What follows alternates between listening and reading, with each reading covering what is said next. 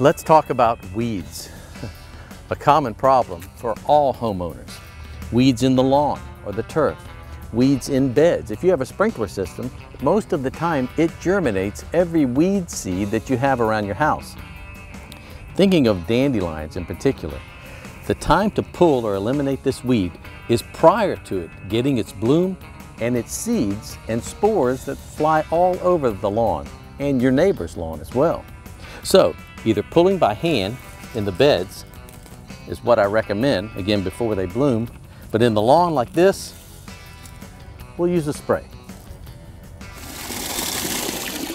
Now, when I'm mixing more than one gallon, I'll use a larger container like this. I've got one, two, and three gallon increments marked on here so I can mix the active ingredient accordingly. Uh, this product is an herbicide that has 2,4-D as its active ingredient, about 8.5%. Well, what I want to do is add one ounce of 2,4-D product to one gallon of water. Now, to help increase the effectiveness of it, a liquid laundry detergent, any type of liquid soap, helps tremendously to stay wetter longer. And I'm going to add about four ounces of that. I stir it up and we'll put this in the sprayer. Now, after carefully adding this to my sprayer, I pressurize the tank and we're off and running. Now, I have designated this sprayer for herbicides now, herbicides only.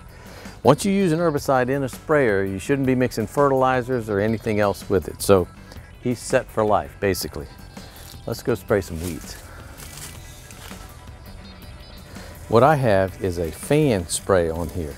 So I can actually walk, spray in a fan, and cover more area than just a cone.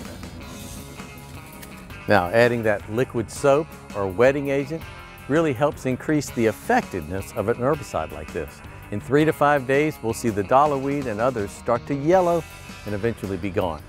What's nice is you can use this method, 2,4-D, one ounce per gallon, to spot treat areas. Then you don't have to spray weed and feed or spread it all over your lawn when you don't have weeds all over your yard. That makes sense. And you can do this treatment throughout the year. For In the Yard, I'm Gary Alan.